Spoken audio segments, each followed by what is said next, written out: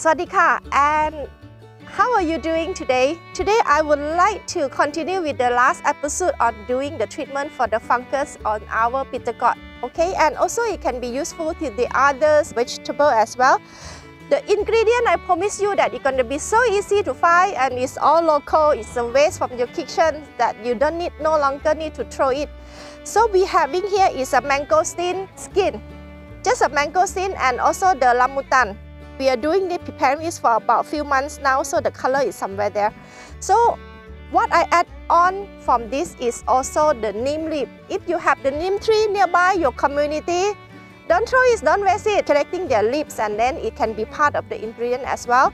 So it also can use for the insect, like a repellent for the insects, for the plants or your vegetable in your garden. What we have here is a very simple ingredient. Alright, so when you have all this skin that is summed up together, better to use when it's still fresh. Don't keep it, don't dry it. So after you taking the fruits, keep it, put it aside. Now can mix 3 part of this ingredient with 1 part of brown sugar. It need to be brown sugar because it's less progress and 10 part of water. Now, I repeat again, 3 part of this material, 1 part of brown sugar, 10 part of water. You just mix all these things and mix well until the sugar melt and then mix well in the container. Keep it in the cooling place you wait it until more than one month, okay? After one month, the color come out, it will be somewhere there.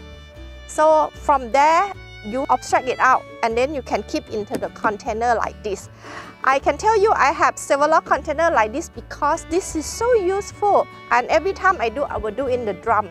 Um, when you having this, how to use it? It's a very simple, very little quantity. If you use 20 liter of water to spray, you only need to use this only 10 cc only. So that is a very, very little. But what I'm gonna do today, I'm not gonna use the spray for the big one.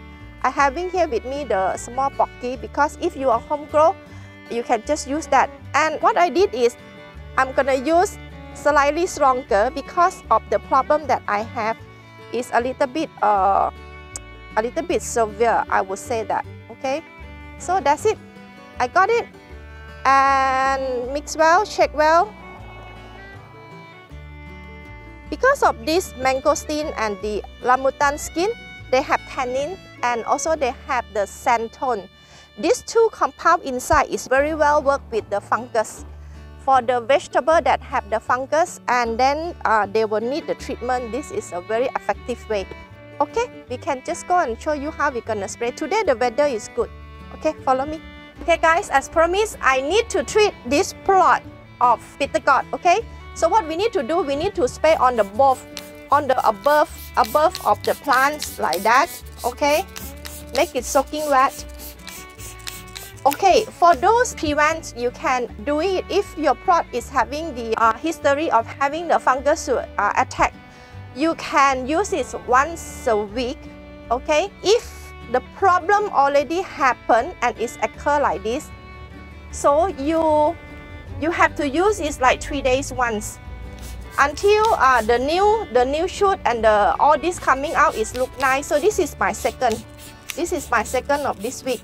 So whatever it is, it's already been uh, having a problem. You won't be able to get it back. Okay, but by spraying on it all soaking wet like that, it will help with the young leaf that coming up, it will be more healthier. Don't forget to give your plants a little bit of fertilizer also because uh, that is how the plants can be stronger. So when you spray on soaking wet on the top part already, the rest of it I'm gonna use a very big tongue spray to go on it. Uh, this is more convenient to do the demo. Okay, what we will have to do is that we will spray under the lip also. So all the under the lip you have to spray it.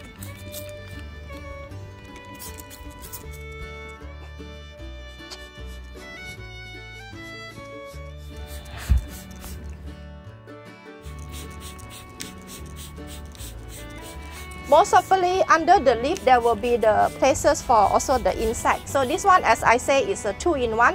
It's also pesticide like uh, you know pesticide, fungicide So it's uh, work both way. Under the lip, you have to make sure it's soaking wet as well. So if I'm using my uh, bigger spray, normally it's very easy to stick the doser in and then it will just really cover a bigger area. So the point is you have to try to make it uh, soaking wet like that, number one. Do it when the weather is uh, a little bit hot weather and fine like this. This will be good. Uh, the first time that I did and I see the problem is even getting a little bit worse because after I done straight away there's a heavy rain so it's just like it's a waste of the effort so uh, this is my second time. Later on I will spray the whole thing with the bigger bigger spray bigger tongue of the spray. Okay? So make sure on the top part is wet. On the bottom of the under the lip is also covered okay? If you're having a small planter pot like this chili plants or this on the pot you using this one is okay but if you have something so messy looking and very thick like this layer out of the lip like this better to have a little bit. Online i think it's very cheap. You getting those uh, 18 liter or 20 liter uh, spray with the very broad spray.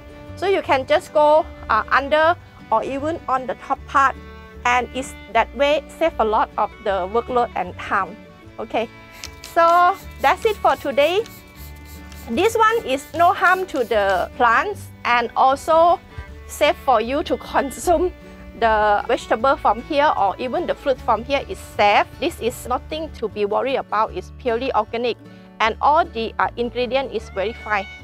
So after you spray it and do it until maybe every three days once for about uh, three to four times, check the progress whether it is getting worse or it is uh, the problem is will be shrinking down like this. When will be okay and stop to use this uh, is the time that you notice that all the young shoot and the new leaf coming out there is no longer having a problem. That will be good. And you also can uh, use it if the problem is uh, very serious for like uh, papaya and all this a little bit of the bigger plants. You can mix with the water 20 cc instead of only 10 cc you mix 20 cc with 20 liter, you pour around on the soil, also is okay. So that kind of treatment, soil together with the leaf. That's it for today, and I see you next episode. Hope you enjoy and try to help us to share out the video and subscribe will be nice. And if you do have any problems, put the comments below. I will try to help with all the problem that you have. And see you again next video. Thank you. Bye.